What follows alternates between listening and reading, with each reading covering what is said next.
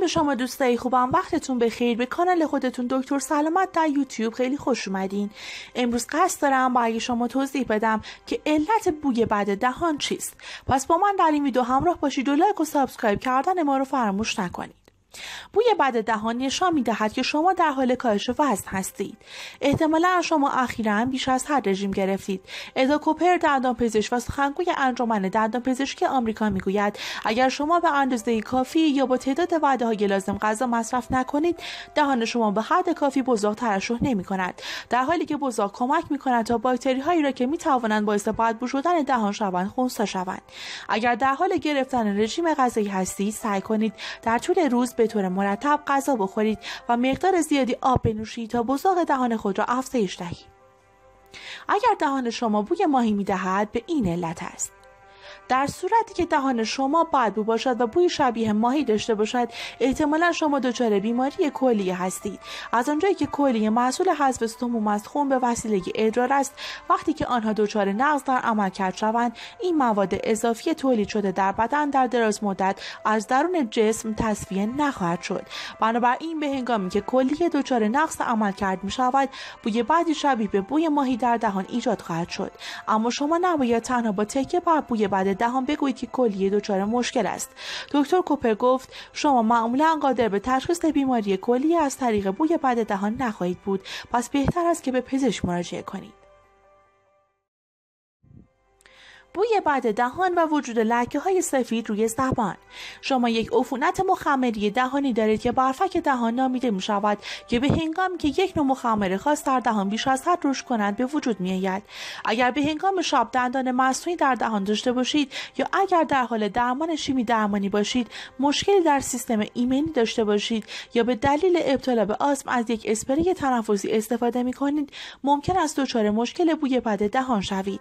علائم دیگر شامل درد در ناحیه دهان مشکل در بل و ترک برداشتن گوشه های دهان است. اگر دهان شما بوی شبیه میوه می‌دهد در این حالت شما دیابت دارید و بدن شما احتمالا نمی‌تواند انسولین کافی تولید کند که یک آرزه جدی به نام کتاوسیدوز است. دکتر کوپر گفت اگر دیابت رو کنترل نکنید یک بوی شبیه به بوی میوه یا استون مثل بوی لاک می‌تواند به وجود آید. وقتی انسولین کافی وجود نداشته باشد بدن برای تامین انرژی از اسیدهای چرب استفاده می کند که فراورده های جانبی تولید می کنند که بوی شبیه به بوی میوه دارد. اگر بوی دهان شما بر اساس فصول تغییر می کند در این صورت ممکن است شما آلرژی داشته باشید. مخال و ترشحات پشت حلق ناشی از آلرژی بر اثر تحریک می توانند مکانی برای رشد میکروب های شوند که بوی بد دهان را ایجاد می کنند بعضی از داروهای آلرژی نیز می توانند باعث خشکی دهان شده و علت دیگر بوی بد دهان باشند. اگر بوی دهان شما شبیه شیر ترشیده است. دکتر هارولد کاتس پزشک و بیولوژیست در کالیفرنیای آمریکا گفت در این وضعیت شما ممکن است دچار عدم تحمل لاکتوز باشید.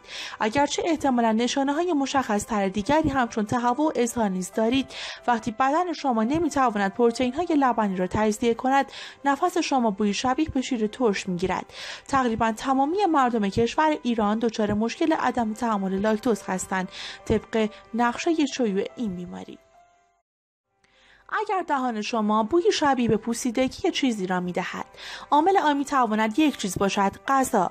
دکتر کوپر گفت اگر شما به حد کافی مسواک نزنید و نخ دندان استفاده نکنید غذا در دهان شما تجزیه شده و بوی شبیه به پوسیدگی ایجاد می کند مسواک نزدن و نکشیدن نخ دندان خطر افزایش فرد دندانی و بیماری لثه را افزایش می دهد همان دو عامل اصلی که موجب بوی بد دهان می شوند دکتر کوپر توصیه کرد اگر بوی بد دهان شما شدید است از دهانشویه آنتی سپتیک استفاده کنید. استفاده از خوشبو کننده و دهانشویه به طور منظم اغلب اوقات بوی بد آن را میپوشانند و مورد آخر اگر دهان شما بوی شبیه به پوشک کثیف می‌دهد. وقتی دهان چنین بویی می‌دهد به این معناست که شما سنگ لوزه دارید. وقتی که باکتری ها و باقی مانده های غذا در لوزه ها گیر می کنند می توانند یک سنگ را در شکاف های لوزه ایجاد کنند. در این صورت باید به یک پزشک مراجعه کنید تا وی این ذرات را از دهان شما خارج کند.